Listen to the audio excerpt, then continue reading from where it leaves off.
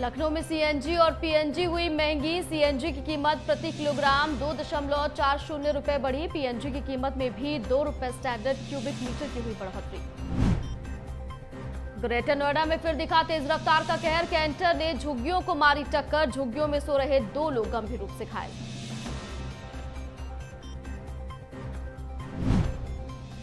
त्रिपुरा में एबीवीपी कार्यकर्ताओं पर चाकू से हुआ हमला। हमले को लेकर उठी गिरफ्तारी की मांग। वामपंथ का फूका गया पतला।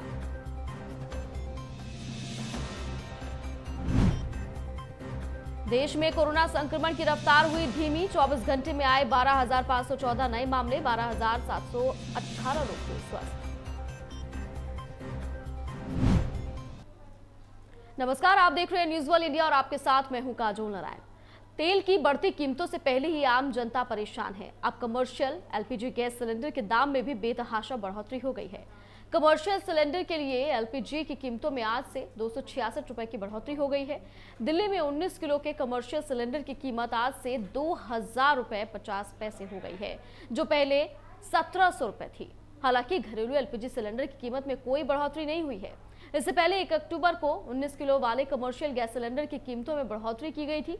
दिल्ली में 19 किलो वाला कमर्शियल एलपीजी सिलेंडर सोलह सौ रुपए से बढ़कर सत्रह सौ रुपए हो गया था।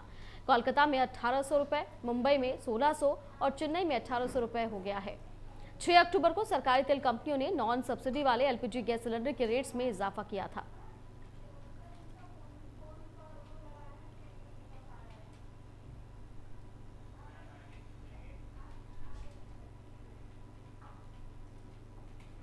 देवस्थानम बोर्ड भंग नहीं होने से केदारनाथ, बद्रीनाथ, गंगोत्री और यमुनोत्री धाम के तीर्थ पुरोहितों में रोष है। इसी कड़ी में केदारनाथ पहुँचे पूर्व सीएम त्रिवेंद्र सिंह रावत का तीर्थ पुरोहित समाज ने विरोध किया। त्रिवेंद्र सिंह रावत को संगम स्थित पुल से आगे नहीं जाने दिया गया। तीर्थ पुरोहितों और हक हकूकधारियों ने इस दौरान खूब नारेबाजी की और उनका जमकर विरोध भी किया है। रुद्रप्रयाग की तस्वीरें आप देख रहे हैं। केदारनाथ पहुँचे पूर्व सीएम त्रिवेंद्र सिंह रावत का यहाँ पर विरोध किया गया है। दरअसल देवस्थानम बोर्ड भंग नहीं हो पाया है, जिसकी वजह से केदारनाथ बद्रीनाथ गंगोत्री यमुनोत्री धाम के जो तीर्थ पुरोहित हैं, वो काफ़ी ज़्यादा नाराज़ नज़र आ रहे हैं। और इसी कड़ी में जब केदारनाथ पहुँचे पूर्व सीएम त्रिवेंद्र सिंह रावत तो वहाँ तीर्थ पुरोहित समाज ने उनका विरोध किया है। त्रिवेंद्र सिंह रावत को संगम स्थित पुल से आगे नहीं जाने दिया गया। तीर्थ पुरोहित और हक हुकूकधारियों ने इस दौरान खूब नारेबाजी की है और उनका जमकर विरोध भी किया गया है।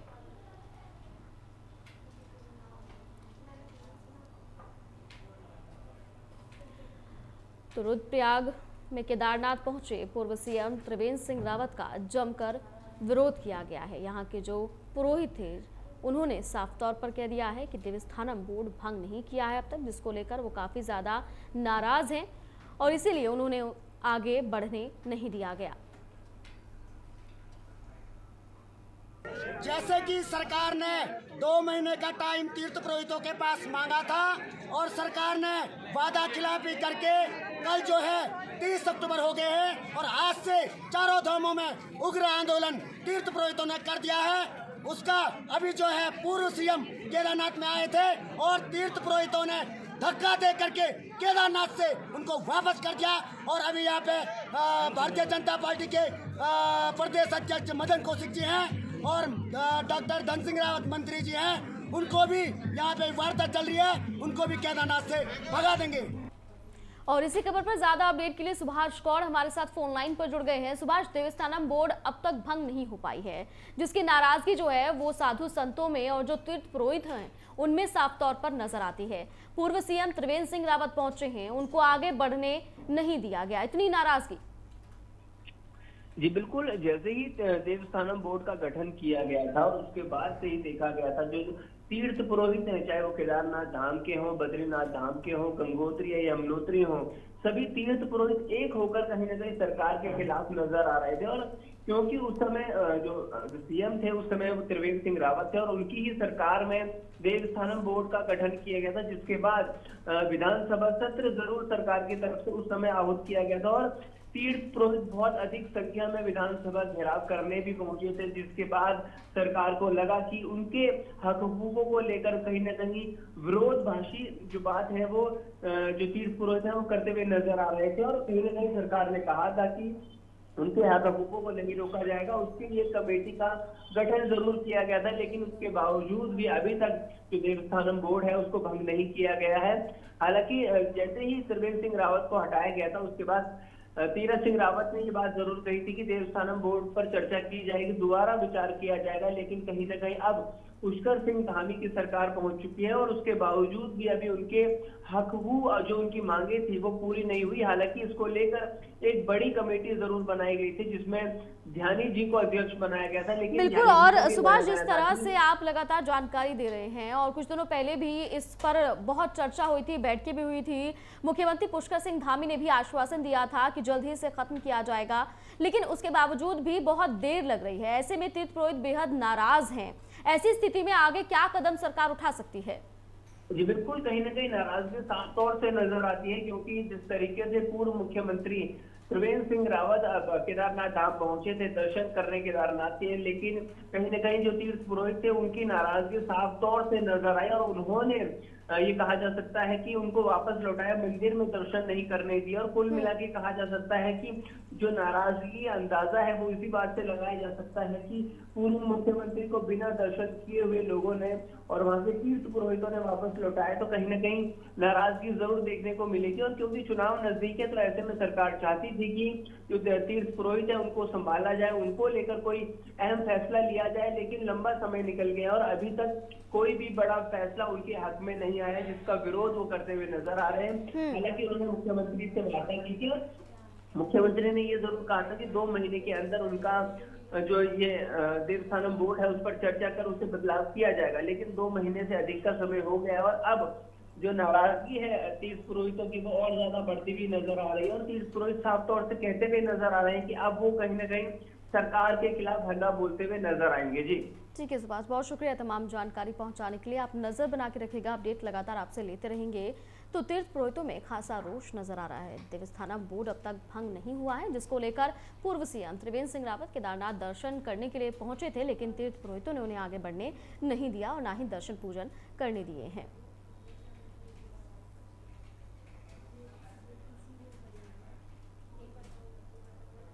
यूपी में जैसे जैसे विधानसभा चुनाव नज़दीक आ रहे हैं वैसे वैसे तमाम राजनीतिक पार्टियाँ यूपी का दौरा कर रही हैं। इसी कड़ी में पश्चिम बंगाल की मुख्यमंत्री और टीएमसी प्रमुख ममता बनर्जी अगले महीने यूपी का रुख करेंगी, जिसके तहत ममता बनर्जी अगले महीने वाराणसी आ रही हैं। इस दौरान ममता बनर्जी टीएमसी के लिए सदस्यता अभियान भी शुरुआत कर सकती हैं। इसके साथ ही ममता बनर्जी सपा प्रमुख अखिलेश से भी मुलाकात कर सकती हैं। तो उत्तर प्रदेश में सियासी हलचल साफ़ तौर पर बनी हुई है और इसी कड़ी में अब ममता बनर्जी भी उत्तर प्रदेश का रुख कर सकती हैं। दरअसल, उत्तर प्रदेश में विधानसभा चुनाव नज़दीक आते ही सियासी पारा चढ़ा हुआ है। तो वैसे वैसे तमाम राजनीतिक पार्टियाँ यूपी का दौरा कर रही हैं और इसी कड़ी में पश्चिम बंगाल की मुख्यमंत्री और टीएमसी प्रमुख ममता बनर्जी अगले महीने यूपी का रुख करेंगी, जिसके तहत ममता बनर्जी अगले महीने वाराणसी आ रही हैं। और इस दौरान ममता बनर्जी टीएमसी के लिए सदस्यता अभियान की भी शुरुआत कर सकती हैं। इसके साथ ही ममता बनर्जी अखिलेश यादव से भी मुलाकात कर सकती हैं।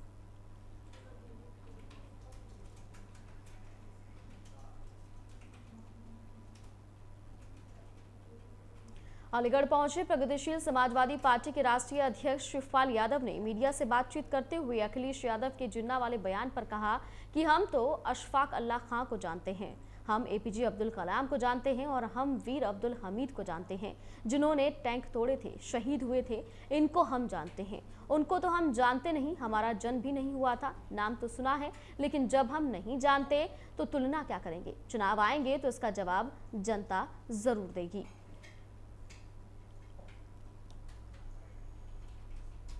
ये हम तो जानते हैं अस्ताकुल्लाह साहब को जानते हैं। हम जानते हैं ए पी जी कलाम को जानते हैं हैं? और उनको जानते हैं जिन्होंने उसकी लड़ाई में टैंक तो, अब्दुल हमीद जिन्होंने टैंक तोड़े थे शहीद हुए थे इनको हम जानते हैं। अब उनको तो हम जानते नहीं मेरा जन्म भी नहीं हुआ था तब। और इसमें नाम तो सुना होगा ना। नाम तो सुना होगा। नाम तो सुना है लेकिन हैं? तो क्या तुलना की जा सकती है? महात्मा गांधी से पटेल से और जवाहरलाल नेहरू से जिन्ना की जब हम जानते ही नहीं तो तुलना हम कहा दिल्ली में इस साल डेंगू के मामलों ने कई सालों का रिकॉर्ड तोड़ दिया है। अस्पतालों में इलाज कराने वाले मरीजों की काफ़ी भीड़ देखने को मिल रही है।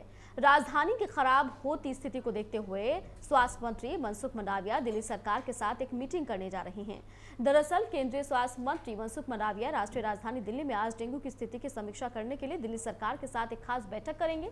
बैठक में डेंगू के मामलों में बढ़ोतरी पर नियंत्रण पाने में केंद्र किस प्रकार दिल्ली सरकार की सहायता कर सकता है, इस पर चर्चा हो सकती है। बैठक में राष्ट्रीय रोग नियंत्रण केंद्र और राष्ट्रीय वेक्टर जनित रोग नियंत्रण कार्यक्रम के अधिकारी भी मौजूद रहेंगे। नगर निकाय की तरफ़ से दी गई जानकारी के मुताबिक हाल में राष्ट्रीय राजधानी में डेंगू के मामलों में काफ़ी बढ़ोतरी देखी गई है। इस साल केवल दिल्ली में डेंगू के करीब एक हज़ार मामले आ चुके हैं। पिछले सप्ताह डेंगू के 280 मामले दर्ज किए गए थे। एक तरफ़ जहाँ त्योहार के सीज़न में कोरोना संक्रमण के फैलने का खतरा मंडरा रहा है तो वहीं दिल्ली में लगातार डेंगू के मामले बढ़ते जा रहे हैं, जिसको देखते हुए सभी लोग डरे हुए हैं। बता दें कि राजधानी में डेंगू के इतने मामले बढ़े हैं कि मरीजों को रामलीला मैदान में बने कोविड सेंटर में शिफ्ट किया जा रहा है। तो दिल्ली में एक बार फिर से डेंगू का कहर देखने के लिए मिल रहा है। आज केंद्र सरकार, राज्य सरकार के बीच बातचीत हो सकती है। इस पर किस तरह से काबू पाया जाए, लोगों को किस तरह से जागरूक किया जाए, इस पर भी चर्चा हो सकती है।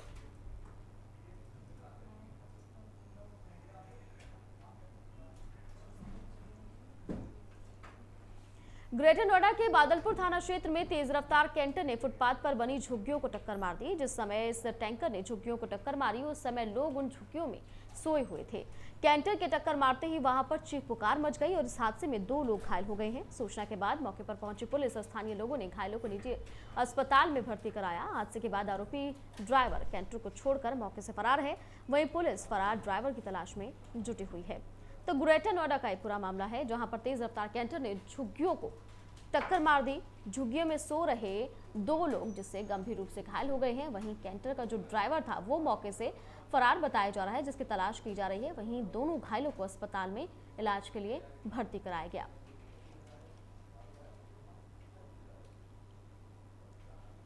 तो ग्रेटर नोएडा की तस्वीरें आप देख रहे हैं, जहाँ पर तेज रफ्तार कैंटर ने झुग्गियों में जोरदार टक्कर मार दी इस हादसे में। दो युवक गंभीर रूप से घायल बताए जा रहे हैं, जिन्हें अस्पताल में भर्ती कराया गया है।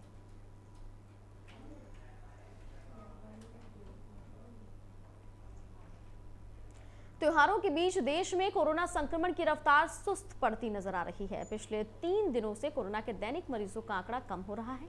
बीते 24 घंटों में संक्रमण के 12,514 नए मामले सामने आए हैं जबकि दो सौ चौवन लोगों की मौत हुई है वहीं 12,718 लोग स्वस्थ हो चुके हैं। इसके अलावा कोरोना के सक्रिय मामले भी कम हो रहे हैं। देश में सक्रिय संक्रमित मरीजों की संख्या अब एक लाख अट्ठावन हज़ार आठ सौ सत्रह तक पहुँच गई है। ये संख्या 248 दिनों बाद आई है। तो त्योहारों से पहले कोरोना की धीमी रफ्तार कहीं ना कहीं लोगों के चेहरों पर मुस्कुराहट ला रही है लेकिन सावधान अब भी रहना है लापरवाही नहीं करनी है क्योंकि कोरोना अभी पूरी तरह से खत्म नहीं हुआ है। तो बीते 24 घंटों में 12,514 नए मामले सामने आए हैं। ऐसे में बीते तीन दिन से आंकड़े धीरे धीरे कम हो रहे हैं।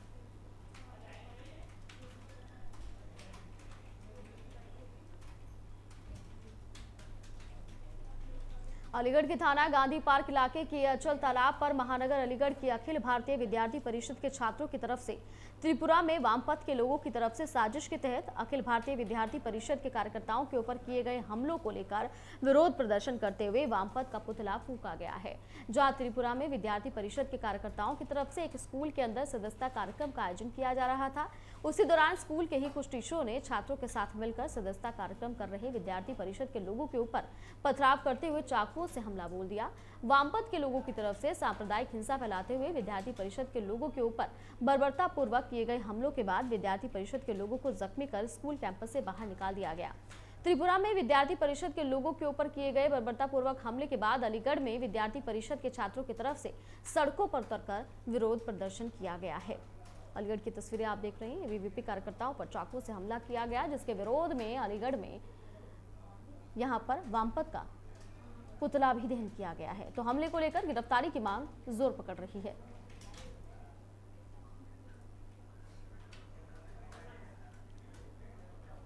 छात्रों के लिए ये संदेश है, यहाँ आएँ, किसी भी टाइम आएँ, ये तो 24 फोर आवर्स की लाइब्रेरी है और अपना पढ़ें सेल्फ स्टडी करें। यहाँ पे हम सारी फैसिलिटीज़ दे रहे हैं, जैसे बच्चे के लिए कंफर्टेबल सीट्स हैं एसी है वाईफाई है और न्यूज़पेपर मैगज़ीन और जो जैसे नहीं दे सकता कोई भी फ़ीस तो उसके लिए फ्री ऑफ़ कॉस्ट भी है। और हमने अभी आगे प्लान बनाया है कि अभी नीचे सेटअप करा है, ऊपर भी तीनों मंजिल पे। और लाइब्रेरी का जो कंसेप्ट है, ये धीरे धीरे बहुत अलीगढ़ में बढ़ रहा है तो हम भी इसको प्रमोट करेंगे। छात्रों को कई तरह की सुविधाएँ हैं। जैसे डिजिटल की, जैसे विधायक जी ने अभी बात करी वाईफाई की सुविधा है एसी की सुविधा है, और परफेक्ट सिटिंग के साथ, अच्छी चेयर कंफर्ट कुशंस के साथ यहाँ पर लगवाई गई हैं। पचास बच्चों तक की बैठने की सुविधा है, आर वाटर पार्किंग की सुविधा, और समस्त तरीके की सभी सुविधाओं से संपूर्ण ये लाइब्रेरी यहाँ ओपन कर दी गई है। मथुरा के जिला कारागार में अपने किसी न किसी गुनाह की सजा काट रहे कैदियों के मन में भगवान नाम की ज्योति जगाने के लिए जेल अधिकारियों की तरफ़ से स्कॉन मंदिर के विदेशी भक्तों के साथ मिलकर हरिनाम कीर्तन और उन्हें सदमार्ग पर लाने की कोशिश करने के लिए एक दिवसीय कार्यक्रम किया गया। तो मथुरा की तस्वीरें आप देख रहे हैं, एक दिवसीय कार्यक्रम का आयोजन यहाँ पर किया गया है। दरअसल कैदियों के बीच जाकर ये कार्यक्रम यहाँ पर रखा गया था। तो कैदियों को सही मार्ग पर लाने के लिए और भगवान का यहाँ पर स्मरण किया गया है। इसी के तहत एक पुस्तक भी यहाँ पर कैदियों को बांटी गई है ताकि वो सही मार्ग पर आए, उनके मन में भगवान नाम की ज्योति उत्पन्न हो।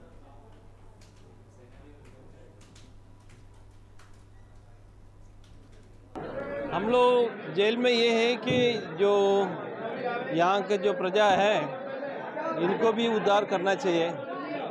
एक्चुअली हम लोग सब है बौद्धिक दुनिया में एक जेल जैसे ही है। लेकिन ये लोग ज़्यादा दुखी है। और साधु का लक्षण ये है कि पर दुख। दुखी तो जो दुखी व्यक्ति है उसको कुछ रक्षा भगवान के शरण देने के लिए भगवान का ये आश्रय चाहिए। तो भगवान का गीता भगवान का नाम भगवान का प्रसाद वो तीनों वस्तु देने के लिए आया है। क्या क्या प्रोग्रामों का आयोजन किया? हम लोग भगवान के जो कीर्तन किया और भगवान के गीता बांटा और भगवान की गीता के बारे में समझाया उसको और डेली जो साधना करने का वो प्रवृत्ति उनको बता दिया।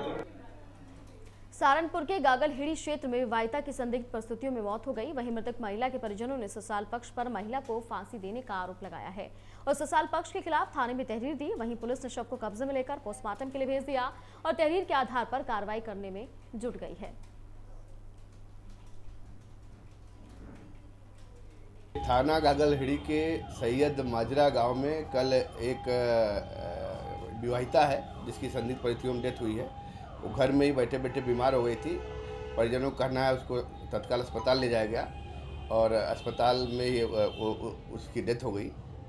उसके जो मायके, मायका पक्ष है उसके थाना गागलहेड़ी में उन्होंने एक दहेज मृत्यु का अभियोग दर्ज कराया है। पति पति के भाई भाभी और उसके बहन, बहनोई के खिलाफ। और पोस्टमार्टम रिपोर्ट में अभी मिश्रा सुरक्षित किया गया है। हमारी बहन की शादी जिला सहारनपुर के गाँव सैयद माजरा के कमर हुसैन, सनोप शमशाद हुसैन के लड़के से हुई से हुई थी। पूरे रीति रिवाज से, मुस्लिम रीति रिवाज से और हैसियत अनुसार दहेज भी दिया था हम लोगों ने।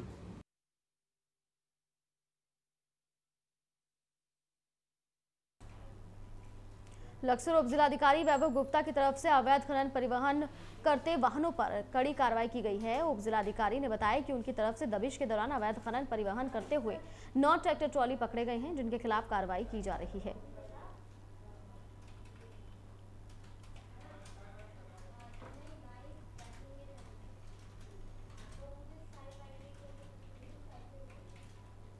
मुख्यमंत्री पुष्कर सिंह धामी देवप्रयाग विधानसभा के दौरे पर रहे, जहाँ मुख्यमंत्री पुष्कर सिंह धामी ने 37 करोड़ की लागत से बनने जा रही जाखड़ी मणि चौरस पेयजल पंपिंग योजना का शिलान्यास किया।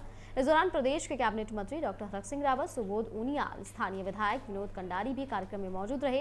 इस दौरान मुख्यमंत्री ने जनसभा को भी संबोधित किया। साथ ही प्रदेश सरकार की तरफ़ से चलाई जा रही योजनाओं को जनता के बीच रखा। वही देवप्रयाग विधानसभा के दूर दराज इलाकों को पाँच एंबुलेंस की सौगात दी। इस दौरान मुख्यमंत्री ने कई अन्य घोषणाएँ भी की और कहा कि सरकार प्रत्येक घोषणाओं को धरातल पर उतार रही है।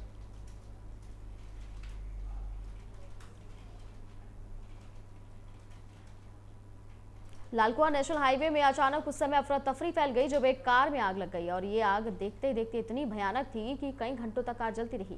मौके पर पहुँचे प्रशासन ने फायर ब्रिगेड की गाड़ी मंगवाई, जिसके बाद आग पर काबू पाया गया। वहीं गाड़ी मालिक का कहना है कि वो यूपी से हल्द्वानी की तरफ़ कार लेकर सर्विस सेंटर जा रहा था, तभी अचानक कार में भीषण आग लग गई।